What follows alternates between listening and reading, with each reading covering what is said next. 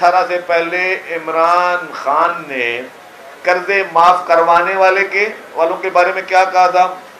اور جو لوگ سہولت کار بنتے ہیں، قرضے معاف کروانے میں ان کے بارے میں کیا کہا تھا؟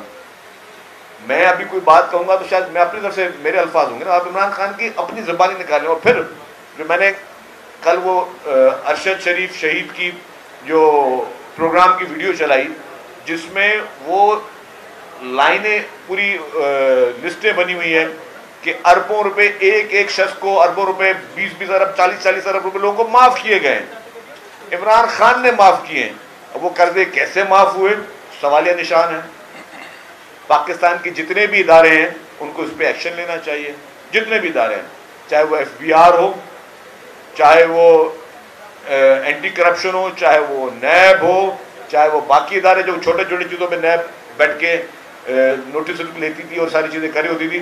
تو یہ ان کا کام ہے کہ انویسٹیگیٹ کیا جائے کہ کس طریقے سے اربوں روپے چند مخصوص لوگوں کو معاف کیے گئے، جس میں ایک ان کا ذاتی دوست کے الیکٹرک کا بھی تھا، جو آج کل عارف نقوی صاحب کسی اور ملک میں جو ہے وہ سزا کاٹ رہے ہیں۔ اور وہ ایف آئی اے کی رپورٹ بھی تھی کہ عارف نقوی جو ہے وہ فنانسر تھا عمران خان کا۔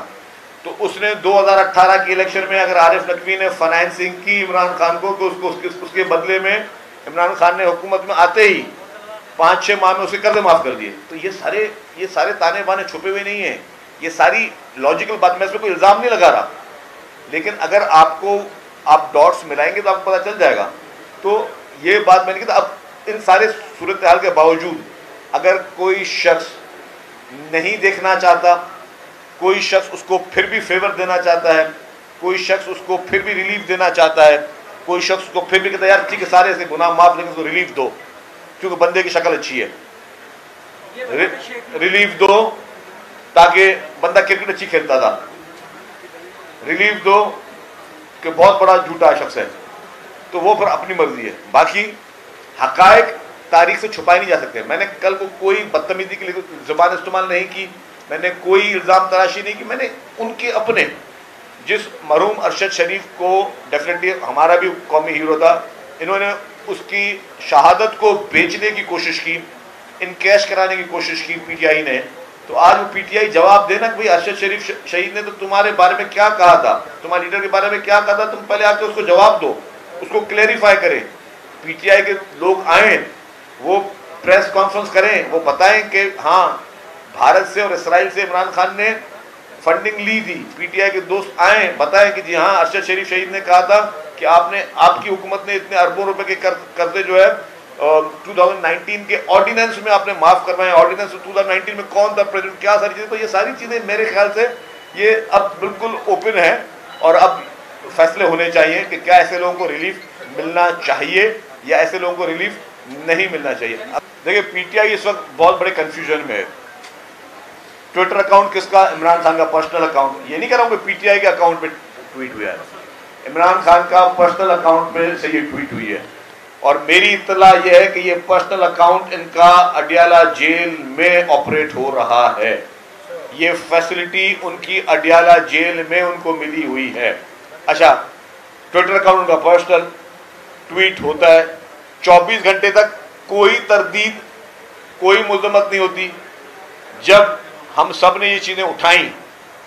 میڈیا میں سوالات کیے کہ یہ شخص کس نہج تک پہنچ گیا ہے کہ اپنے ہی ملک کے اداروں کے خلاف، اپنے ہی ملک کی فورسز کے خلاف، اپنے ہی ملک کے خلاف، اپنے ملک کے شودا کے خلاف کس حد تک گھناؤنی سازش یہ شخص کر سکتا ہے؟ تو پھر وہ بیرسٹر گوھر صاحب کل پیدا ہو گئے اور انہوں نے فرمایا کہ جی نہیں، وہ ویڈیو پتہ نہیں، انہوں نے دیکھی نہیں تھی۔ اور اس کا مقصد جو ہے وہ ادارے کو ٹارگٹ کرنا نہیں تھا۔ آپ نے کیا چھوڑا اس ویڈیو میں؟ آپ جو اوپر سے آپ بیٹھ کے کلیریفیکیشن دے رہے ہو۔ مطلب یہ آپ خود دیکھیں کہ پی ٹی آئی اس وقت کس صورتحال کا شکار ہے کہ عمران خان کے اپنے اکاؤنٹ سے۔ اچھا اگر بیرسٹر گوہر صاحب نے یہ اتنی بڑی کلیریفیکیشن دے دی تو وہ ویڈیو ڈیلیٹ کیوں نہیں کی؟ ڈیلیٹ کر دیتے نا ویڈیو کو۔ ڈسکلیمر ڈسکلیمر شو کر رہے ہو آپ۔ تو ڈیلیٹ کر دیتے۔ اب ڈسکلیمر یا بیرسٹر گوہر صاحب عمران خان سے شو کر رہے ہیں، جس نے اپنے ذاتی اکاؤنٹ پہ ڈالی ہے۔ تو یہ چیزیں ہیں اور ان کو اب یہ پتہ چل گیا ہے کہ انہوں نے یہ پوری پاکستانی قوم کے ساتھ کھلواڑ کیا ہے۔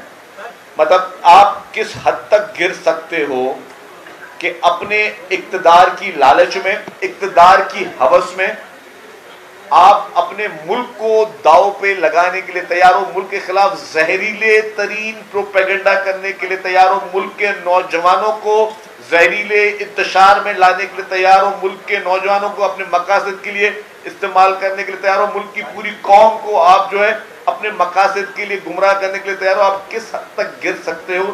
یہ ساری چیزیں سوالیہ نشان ہے۔